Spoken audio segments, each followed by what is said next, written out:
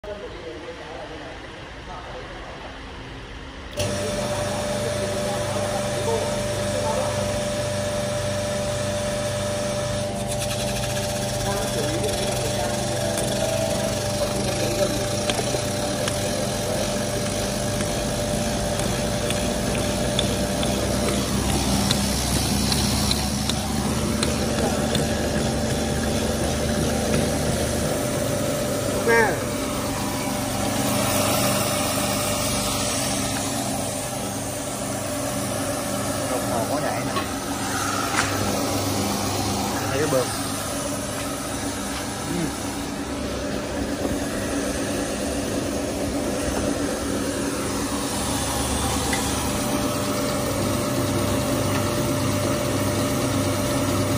Ờ, làm lại phát nữa.